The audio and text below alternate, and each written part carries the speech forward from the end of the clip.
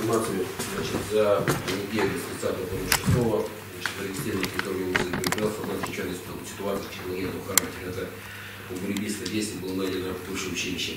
И разорвавший снаряд со времен Второй мировой войны. Значит, саперы отработали и снаряд. Значит, э, э, всего был э, пациент Герман, был ДТП э, на въезде в Бельгию, погибло три человека, на столкновении мотоцикла с колонным автомобилем.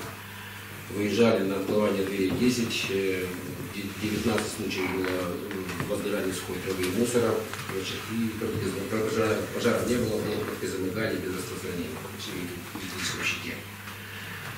По информации по кризисному пункту э, хотел бы до- до- довести, что на сегодняшний день у нас находится в муниципе ГАЗ 339 зарегистрировано в гостиницах и в наших э, пунктах 39 человек, 213 взрослых, 26 детей.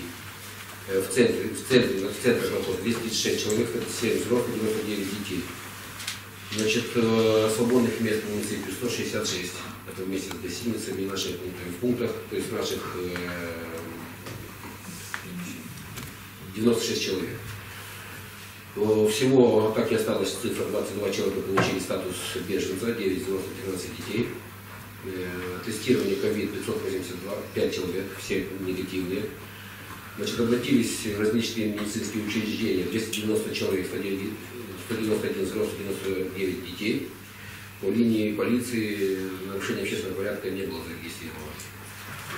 Хочу сказать по Николаю Николаевичу по тому поводу, что вы говорили, значит, у нас есть свободные места. То есть вы видите, каждый день мы графически имеем такой график, где мы указываем, может, мы видим, где у нас есть места, и идет вверх, идет на спад и так далее.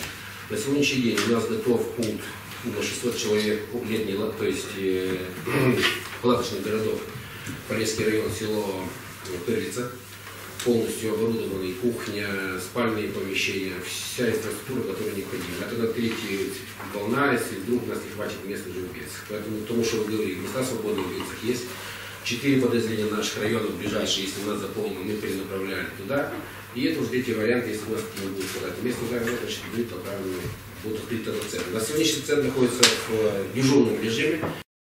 Когда уже приходили люди, начинают обращаться, давайте мы сюда людей, мы объясняем, что у нас есть куча мест еще свободных, если есть такие люди, которым необходима, помощь.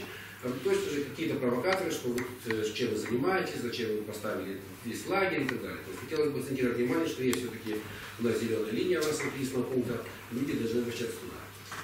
Понял, спасибо.